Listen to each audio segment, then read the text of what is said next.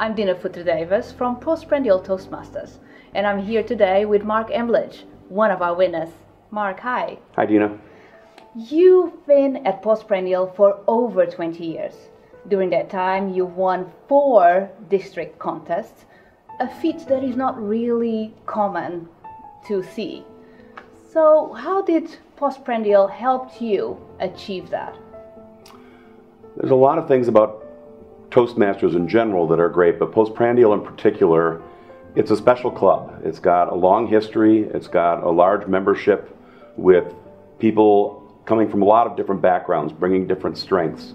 Some people are especially good at gave, giving historical speeches, others at humorous speeches, others at storytelling. And so you learn from each one of those people as you go through the program. And I know I learned a lot of lessons early on when I joined one of the first contests I entered, I remember reading my speech. I quickly learned you don't do that when you're in a contest. So these are the kinds of lessons you learn over time and you grow from each one.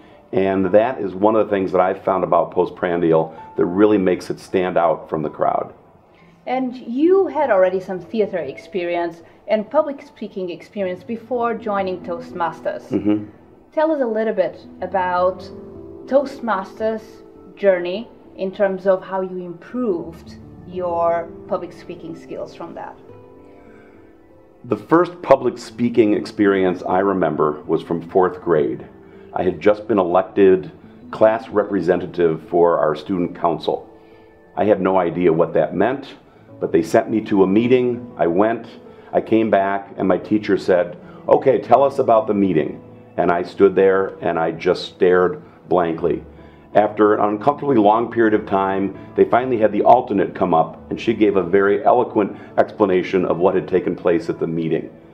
I've come a long way since then, and one of the things that helped me a lot was postprandial Toastmasters, but also the theater and the other things that I've done. I took a public speaking class in college also. So these things have all contributed to me becoming more comfortable in that setting, but in Toastmasters especially, it gives you that structure, the opportunity to give different types of speeches, to compete in contests, to listen to others and then evaluate their speeches, to take on leadership roles. I've been a club officer several times as well. So all of these things have been impactful for me. What would you say to someone who's looking to improve their communication and leadership skills in the Rochester area? Well, I guess the obvious answer for me, based on the experience I've had, is to check out Toastmasters and specifically check out Postprandial Toastmasters. There are a lot of clubs in the Rochester area. I've had a chance to visit several of them. I've enjoyed each one, but I especially enjoy the professionalism that comes with Postprandial. One of the benefits that we have in our club is that our founding member is a past international president, uh, the late Pat Panfile.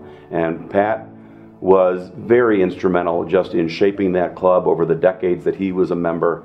And I think everyone who was fortunate enough to be there during the time that he was there learned a great deal about public speaking. Thank you. You're welcome.